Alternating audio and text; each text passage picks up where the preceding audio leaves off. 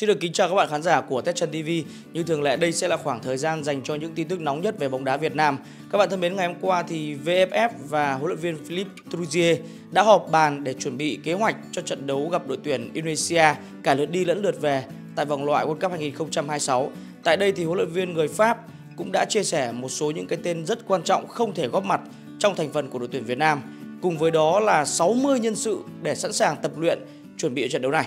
Lãnh đạo Liên đoàn bóng đá Việt Nam và huấn luyện viên trưởng Philippe Jouzier đã có cuộc họp triển khai kế hoạch hoạt động của đội tuyển quốc gia và đội tuyển U23 quốc gia trong năm 2024.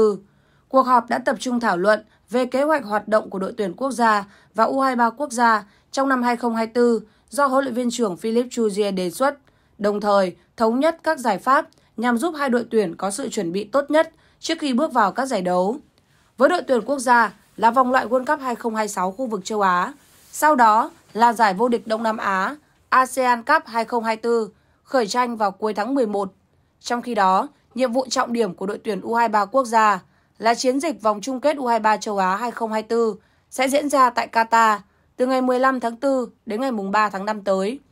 Lãnh đạo Liên đoàn bóng đá Việt Nam ghi nhận những kiến nghị từ phía huấn luyện viên Philippe Chuzier về công tác đội tuyển và ủng hộ quan điểm về nguyên tắc chuẩn bị và tập trung đội tuyển của nhà cầm quân người Pháp khi luôn cố gắng để đảm bảo sự cân bằng lợi ích giữa giải đấu, V-League, các câu lạc bộ và đội tuyển quốc gia. Huấn luyện viên Philippe Jouzier cho biết, điều quan trọng nhất là các cầu thủ cần phải được thường xuyên ra sân thi đấu, nên giải League trong nước cần phải được ưu tiên. Do vậy, việc tập trung đội tuyển trong thời gian dài là không cần thiết vì sẽ gây ảnh hưởng đến lịch trình thi đấu của các câu lạc bộ tại giải V-League. Từ quan điểm này, và căn cứ vào điều kiện thực tế của bóng đá Việt Nam, huấn luyện viên Philip Chuje tính toán quỹ thời gian dành cho mỗi đợt tập trung của đội tuyển sẽ là khoảng một tuần trước mỗi kỳ FIFA Days. Quỹ thời gian này vừa đủ để đảm bảo công tác chuyên môn của đội tuyển, vừa đảm bảo lợi ích của các câu lạc bộ và lợi ích của giải đấu. Trong thời gian vừa qua, huấn luyện viên Philip Chuje cũng đã phân công các trợ lý trong ban huấn luyện, chia nhau dự khán các trận đấu tại V-League để theo dõi phong độ của các cầu thủ trong danh sách của đội tuyển Việt Nam và U23 Việt Nam, đồng thời tìm kiếm những nhân tố mới để bổ sung vào lực lượng của đội tuyển. Ngoài ra, nhà cầm quân người Pháp cũng trực tiếp sang Nhật Bản để kiểm tra phong độ của tiền đạo Nguyễn Công Phượng đang khoác áo câu lạc bộ Yokohama ở J-League 2 và trực tiếp gặp gỡ các cầu thủ đang điều trị chấn thương, đặc biệt là trường hợp chấn thương kéo dài như hậu vệ Đoàn Văn Hậu để nắm bắt tình hình, hay như trường hợp của trung vệ Quế Ngọc Hải hiện vẫn chưa đảm bảo sự hồi phục để lên tập trung cùng đội tuyển. Theo kế hoạch, đối với hai trận đấu gặp Indonesia trong kỳ FIFA Day tháng 3 tại vòng loại thứ hai World Cup 2026, dự kiến đội tuyển Việt Nam sẽ hội quân trở lại từ ngày 12 tháng 3 tại Hà Nội.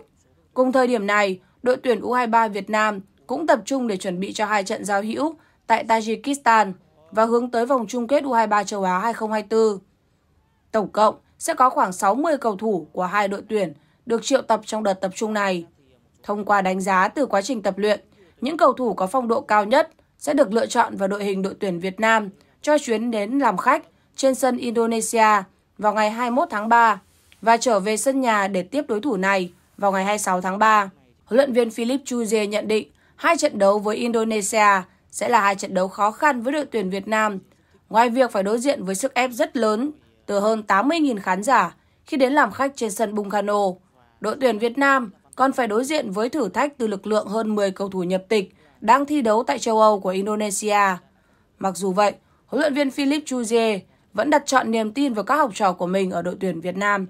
Ông thầy người Pháp nhấn mạnh, đội tuyển Việt Nam đang hướng tới các trận đấu với sự chuẩn bị kỹ lưỡng và với một tinh thần tích cực.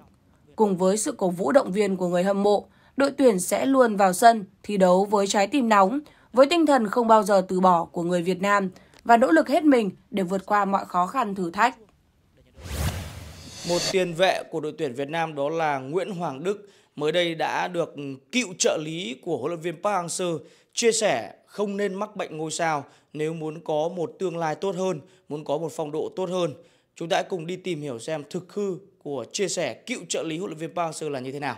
Trong một bài trả lời phỏng vấn với truyền thông mới đây, ông Bae Ji-won, cựu huấn luyện viên trưởng của Thể công Viettel và là trợ lý của luyện viên Park Hang-seo ở đội tuyển Việt Nam trước đây, đã đưa ra quan điểm về việc Hoàng Đức mất suất đá chính ở đội tuyển quốc gia nhưng vẫn lần thứ hai giành quả bóng vàng. Trong bài viết có đoạn, việc tuyển chọn cầu thủ cho đội tuyển quốc gia suy cho cùng là do triết lý và cách sử dụng chiến thuật của huấn luyện viên trưởng. Thế nên, trong trường hợp Hoàng Đức, tôi nghĩ rằng giới truyền thông không nên nhấn mạnh vào việc cậu ấy không được thi đấu, dù cậu ấy là cầu thủ hay nhất. Tạm thời, Hoàng Đức chưa được sử dụng vì cách bố trí của huấn luyện viên Chu Jie. Tuy nhiên tôi nghĩ sớm muộn Hoàng Đức sẽ được trao cơ hội. Lẽ ra cậu ấy không nên mắc bệnh ngôi sao như Đình Bắc tại Quảng Nam. Tuy nhiên ngay sau đó trên trang cá nhân, nhà cầm quân Hàn Quốc đã lên tiếng đính chính câu trả lời trên là dịch sai thông điệp của ông. Huấn luyện viên Beji Won chia sẻ, tôi chỉ muốn nói Hoàng Đức là cầu thủ có chuyên môn tốt, sớm muộn cũng thích nghi và được huấn luyện viên Chu Jie tin dùng. Tôi tin vậy. Cậu ấy là quả bóng vàng, cậu ấy đừng nên mắc bệnh ngôi sao như Đình Bắc. Cầu thủ cần kiên nhẫn và nỗ lực. Thực tế, dưới góc độ chuyên môn của một người thầy cũ, đây có thể xem là lời góp ý chân thành của huấn luyện viên Beji Won gửi tới cậu học trò.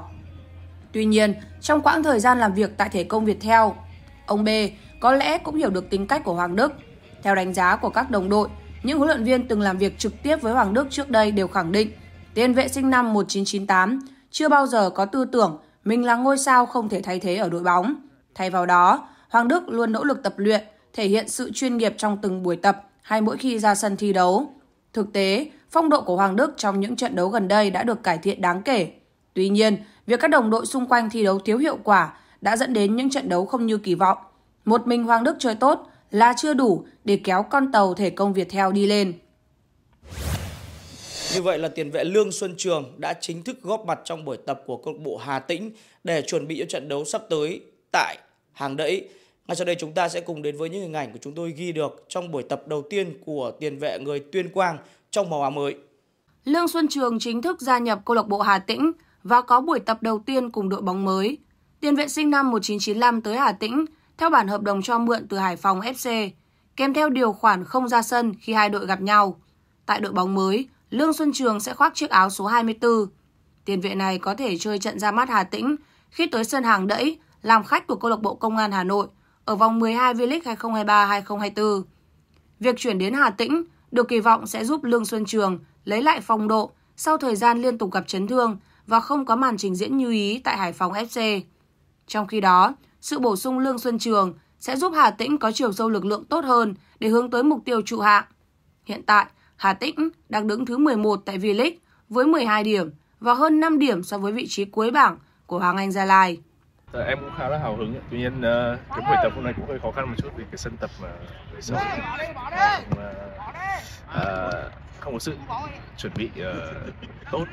Nên là em hy vọng là ngày mai ở buổi tập tiếp theo thì ờ, đội sẽ có cái sự tập tốt hơn để chuẩn bị cho trận đấu tới thì uh, có một uh, vài anh em mà em đã quen có gọi điện nhắn tin hỏi han thì uh, uh, cho đến khi mà em chính thức nhận được cái thông tin mà em sẽ về với uh, Hà Tĩnh thì uh, kể cả các thầy và trong ban huấn luyện mọi người rất là thân thiện anh được biết là trường cũng nghiên cứu rất kỹ về Hà Tĩnh và cũng đã trao đổi trực tiếp với Nguyễn Thành Công để để xem xem huấn luyện viên à, thật sự là cần mình ở những điểm gì.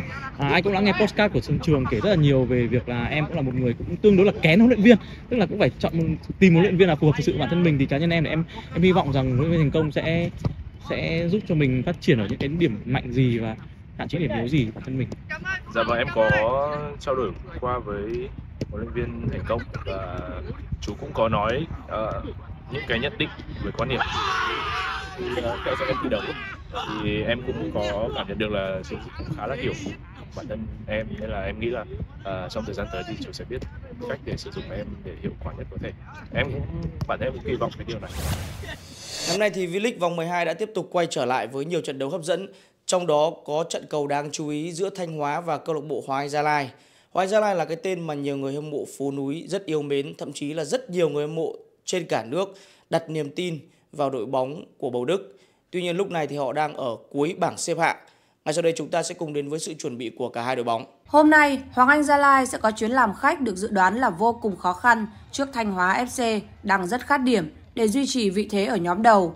Thất bại trước Công an Hà Nội ở lượt trận vừa qua không phải là thảm họa đối với Thanh Hóa.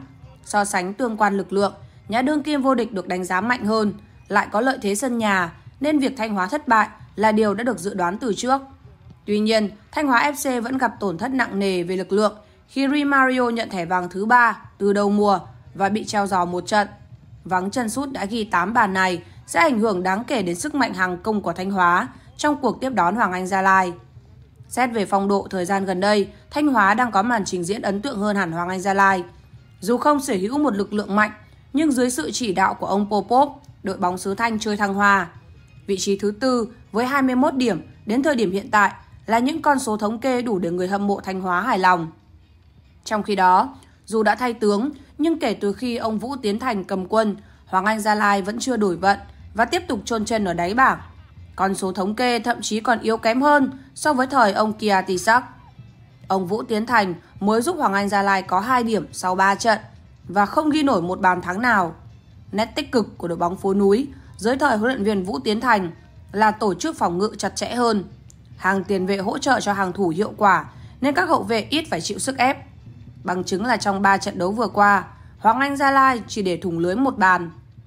Trước đó, họ để thủng lưới tới 14 bàn thua trong 8 trận đấu. Dù vậy cũng cần biết rằng hàng công của Quảng Nam, Hà Tĩnh và Khánh Hòa không quá xuất sắc nên Hoàng Anh Gia Lai dễ thở hơn trong các pha chống tấn công của đối phương. Về lực lượng, Hoàng Anh Gia Lai sẽ không có sự phục vụ của tiền vệ Tuấn Anh do chấn thương. Đây là tổn thất lớn đối với đội bóng phố núi. Nếu thi đấu đúng sức, Thanh Hóa FC hoàn toàn có thể giành chọn 3 điểm trên sân nhà. Thông tin vừa rồi đã khép lại bản tin 12 giờ trưa trên kênh Tech TV. Cảm ơn mọi người đã quan tâm theo dõi. Đừng quên bấm like, subscribe và bấm nút chuông để nhận được thông báo mỗi khi chúng tôi ra bản tin mới. Xin được kính chào và hẹn gặp lại mọi người trong những bản tin tiếp theo.